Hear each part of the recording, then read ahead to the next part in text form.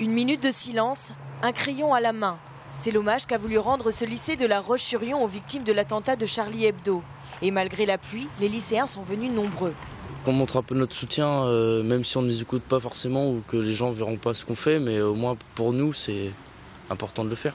Pour les, les gens qui ont écrit ce, ce journal pendant des années et qui sont morts aujourd'hui. J'avais amené un stylo pour montrer que j'ai aussi une pensée et que je donne aussi mon point de vue. Ce crayon, c'est votre outil de travail au quotidien. Un crayon comme symbole de liberté. C'est le message que le lycée a voulu faire passer à ses élèves. À présent, il s'agit de comprendre et d'expliquer. Cabu, euh, Wolinski, euh, Charlie Hebdo, beaucoup ne connaissaient pas.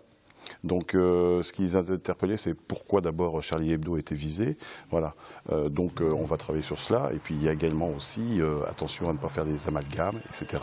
Donc, on va travailler dans ce sens. Tolérance, respect. Un petit message qu'on fait passer. Non?